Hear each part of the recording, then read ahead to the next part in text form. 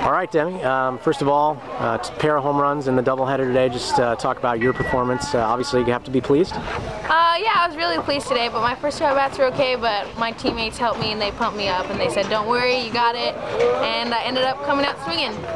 What What about, I mean, just the first two games of the year, you feel, you feel like now going into the rest of this weekend, you're kind of in the offensive yeah. feel comfortable? Yeah, I think um, our lineup is super stacked. We have everybody who knows how to hit, and I just think we're good for this coming day.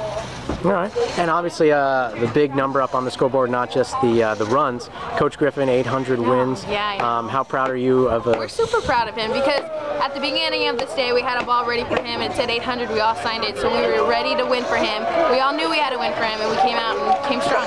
All right, and what are you looking forward tomorrow, just out of yourself and the team? Um, we're coming out hitting. We're gonna win tomorrow. This is our opening weekend. We're gonna do it. Thanks, Demi. Thank you.